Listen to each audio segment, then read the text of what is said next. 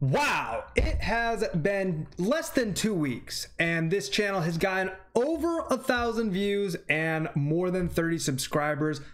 Thank you so much. I'm so psyched. I can't wait for what's to come. I've set a goal that I want to reach a thousand subscribers and get partnered with YouTube by 2023. So if you're watching this and could help me reach that goal by hitting a sub button below, a like on the video, of course, helps. That's what they say, anyways. I'm new to this. I'd appreciate it. Anyways, let's jump in. Today's video is a combat video and I'm super psyched about it. First combat video. Um, I'm gonna show it to you guys, but real quick, let me show off one upgrade we've made to the stream. I don't wanna forget this. Bang! We've updated our audio equipment. I did get a comment on a video that uh, my SteelSeries mic over here made his ears hurt, and I don't blame him. The audio did kind of suck.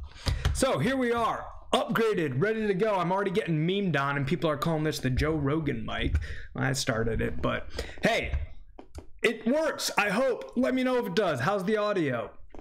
So for today's combat guide, we're gonna look at a level 19 Woodside. We're gonna use this Woodside as the training grounds to explore some of the combat mechanics in the game. And I'm also gonna show you how to take it using T2 troops. Caveat, I am using this army here that has one mil power, just real quick. This is the setup. He's got a catapult, which as you'll see, isn't gonna be so necessary. Some swordsmen in front that are going to tank, and then some lancers that are gonna charge the gate. All right, so how's this work? What's this strategy look like? First thing we want to do is examine this city and take a look at some of the puzzles or obstacles that we're going to have to negotiate. The first thing you do when you look at a city is you look at where the gate is because there can be more than one entrance to a city, but this one only has one entrance. And based on where the nearest entrance is, that is where all your ground troops are going to charge first. That's how the AI is programmed. So when I say ground troops, I mean your swordsmen and your long range units. The units that will also path to the gate are cavalry. One type of unit will not necessarily path to the gate, which is certain siege units, and we're going to explore that. But just to look at the gate here and where it's situated, it's right here in front, and if you look around, there is no other gates. I did want to point out uh, the doors on the towers because foot soldiers like swordsmen and rangers, but not horsemen and cavalry for these tower doors uh, just the footmen, like soldiers, the swordsmen and axemen, the crossbows, and the bowmen, they can enter these doors in these towers if they're facing the outside. But as you can see, this door's facing inside. So this is not a weak point. None of our foot soldiers can get in here.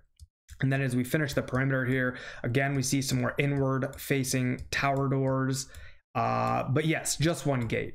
So we're going to have to enter this way. And if you see, this is a dangerous entrance. We've got four bowmen sitting right here, a fifth up here. You might get some of the attention of these two bowmen in the northwest. You've got a cavalry unit sitting right up front, and then you're going to aggro the axemen to the west and the axemen to the east. If you look at the Northwest, it is woefully unguarded. Wouldn't it be nice if you could, instead of entering from this front gate, enter through the back entrance? And the answer is that yes, you would like to do that, and yes, it's possible.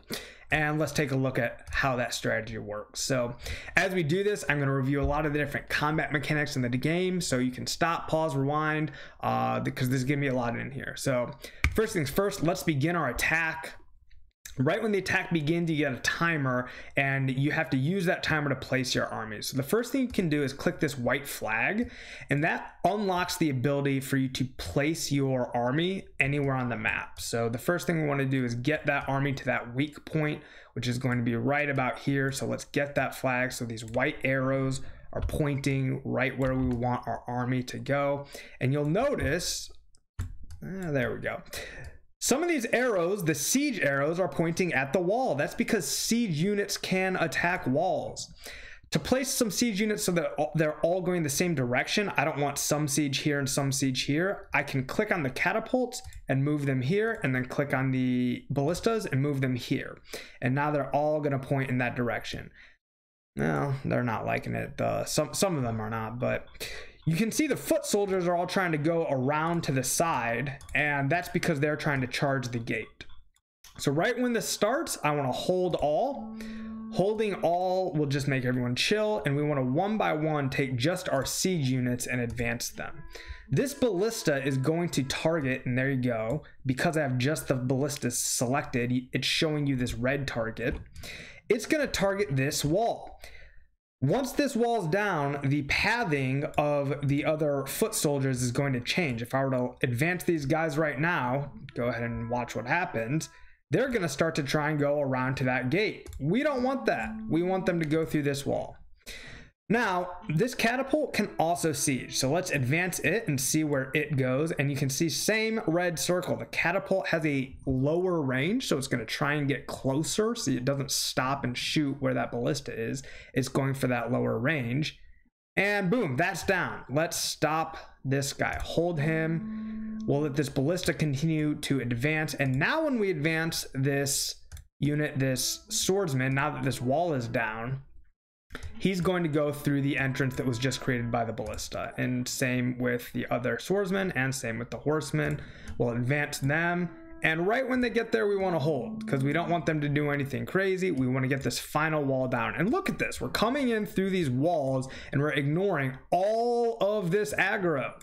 Now, the swordsmen were just there for protection. If we did accidentally aggro something, the swordsmen would have been able to protect our siege. If your siege is caught out in the open, it will get obliterated by any unit.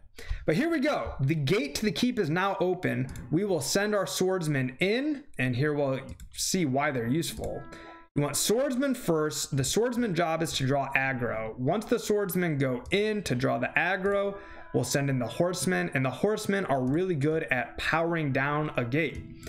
So in go the swordsmen, and the swordsmen are drawing the fire of this arrow here. The swordsmen are aggroing the axemen here. We don't really care what the siege is doing anymore. This battle's already won. We're just waiting for these horsemen to charge into the gate. Swordsmen might get the gate down on their own before the horsemen even get there. And boom, there's the gate, done. Easy. I hope you learned a lot from that. It's quick, it's easy, but it was pretty dense. So if you have questions, go ahead, ask, comment. Uh, please, again, help me with this sub goal. I would love to get to the thousand subs by at least 2023. That'd be amazing to hit that YouTube partnership. And with that, we'll call it a video. Remember to stay hydrated and game on. Cheers.